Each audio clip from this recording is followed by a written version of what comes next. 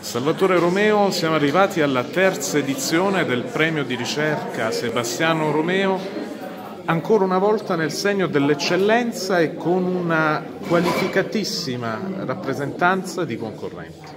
Sì, quest'anno abbiamo avuto in particolare cinque concorrenti eh, con delle, delle, proposte molto qualificate, non soltanto pugliesi, ma abbiamo avuto per esempio anche un concorrente francese, quindi insomma un ventaglio molto ampio, una commissione anche eh, scientifica molto qualificata che ha preso secondo me un'ottima decisione. Il vincitore, lo, lo diciamo, possiamo ormai dire, è Antonio Bonatesta che è un giovane ricercatore salentino che lavora all'Istituto Universitario Europeo, quindi anche lui un'eccellenza del nostro territorio, con tesi, con un libro scusate, molto interessante che parla del nostro territorio in un'ottica europea e del contributo che la classe dirigente pugliese ha dato alla costruzione eh, dell'Unione Europea. Quindi è un, un tema anche estremamente attuale e estremamente interessante da discutere.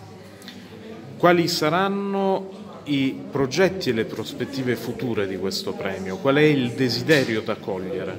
Beh, noi cerchiamo di fare un passo alla volta ovviamente, questo è un piccolo premio che però poco alla volta sta crescendo, appunto siamo giunti alla terza edizione, non era per nulla scontato quando abbiamo iniziato, cercheremo di estendere ancora di più la partecipazione e anche eh, diciamo il, la, la, le tematiche in modo che possano partecipare anche eh, più persone.